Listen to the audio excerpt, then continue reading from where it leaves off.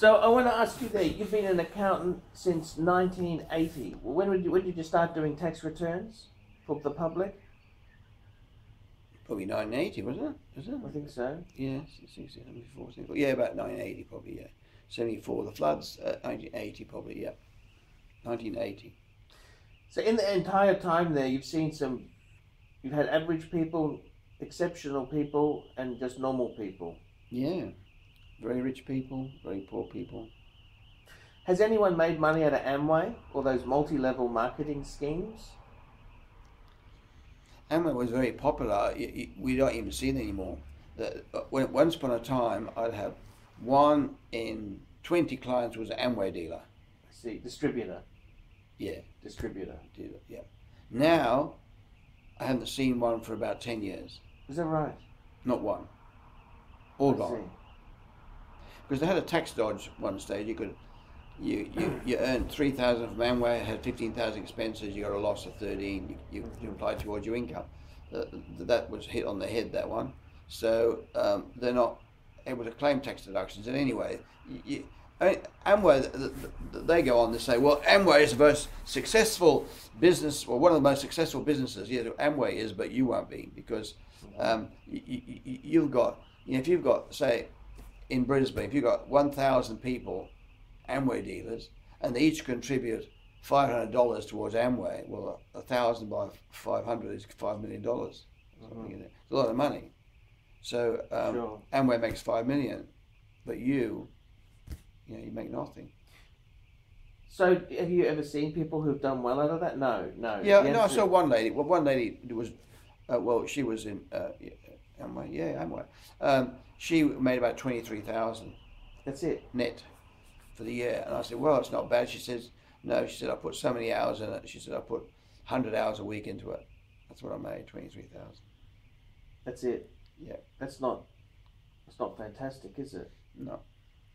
I think they make money from selling their byproducts, their books and The tools. tapes. It's called. It's Yeah, called. It's yeah. called the tools scam. So the guys at the top selling tools and they make money. Yeah, and Yeah, they're but selling the dream. but it's called. not. Um, It's it's called not selling the dream. selling the dream. Yeah. Yeah, and you and, and, and when you talk badly on Amway, it's a dream stealer. You're a dream stealer.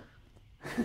I think that um, there's a lot of things that they teach in Amway probably good, personally good motivation, motivation stuff.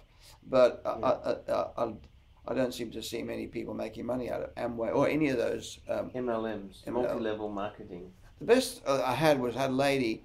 Uh, she she went to Perth and I never lost contact with her. What she did, she sewed clothes, hmm dresses, and then she had a, sh- a show. People came to her place Mhm. and they looked at these dresses and they bought them. Sure. and were, and then baby clothes too. They were, they were Sure. doing that, and they were making good money because it was their thing. They they sewed the clothes, Okay. had the show, and then you know. Yeah. But then when she went to Perth, they all folded. You know, Oh, I see. Gotcha. her husband had, was transferred. So, uh, and now whether that could continue going, I don't It's know either.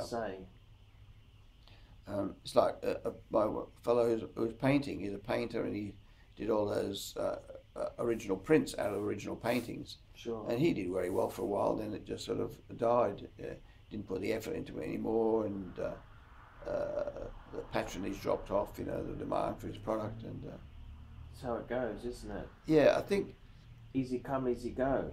yeah they say in in um, in marketing that you, you, you, you, your things go up like that, and then they go down, and they go up, and they go down.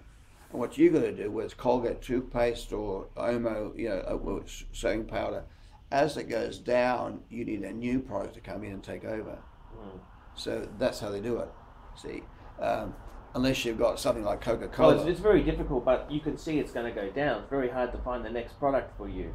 It- it- Well, well, well, they have to, that they have to hard, make a new they? product. That's right. They, they've got to do it and advertise and sell it. And that's, Well, that, that's that's that's easier said than done. it's easier so that it costs a lot of money. You know, Very difficult. you look at the money that Coca Cola puts into it, its product, which is a nothing. A Coca Cola is a it's a drink. I mean, I like it. I, I like it better than Pepsi and everything. I, I don't know why, but I like it. You know, mm-hmm. but um, they put millions and millions in advertising. Everywhere you go, there's signs, there's there's billboards, there Sure. uh, ads on TV, or used to be ads on TV. You know, things go better with Coke. You know, um, it's just it it's multi-million um, uh, of advertising, isn't it? Marketing. Yeah. And, and they, um, I suppose I, I, I'm, I mean, more, I'm more pleased that it's in, into that than cigarettes. Remember the old days? They used to have the cigarettes. Used to do that. They put a lot of money into cigarettes. Had guys riding horses and sportsmen and all that, Sure. all smoking cigarettes. And um, how they got away with it, I don't know, because all that happened to these, these guys uh, ruined their lungs, didn't they? With tar and stuff. And uh, now you can't advertise cigarettes. In fact, every, you buy a packet of cigarettes and it's got the this causes death, and it's got this big picture of your heart or your lungs or It hasn't stopped the government's taxing the shit out of it, mind you. And the government's taxing the shit out of it. Yeah. Mm.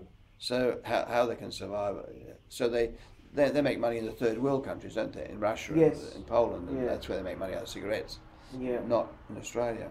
No, that's exactly it. and that and that's a saving on it's saving it in one sense you know the government's taxing it and, and this, so it's less revenue for them but it also helps them in their health thing because people are not getting as sick if they were smoking you know in fact in the many surgeons won't operate on you in serious conditions if you're smoking Yeah. or if you're overweight too Mm. they won't they won't operate That's exactly it there. because uh, there's no point it, you, Mind you, you it's probably best to stay away from the knife a lot of the time. It's probably not a bad thing. yeah yeah You know, yeah the knife is never an instant cure, is it? No, just only an instant cure for the doctor's budget. but yeah, I mean, surgery is exactly sometimes okay. We'll just stop that there.